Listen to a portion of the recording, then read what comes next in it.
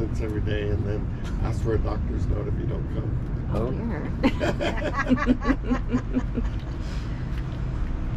I missed yesterday. I need a note. Yeah. Sure helps me not get parking tickets. yeah. Exactly, yeah.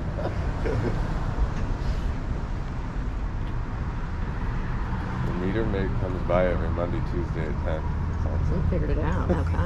Okay. This is why I bike everywhere. I mean,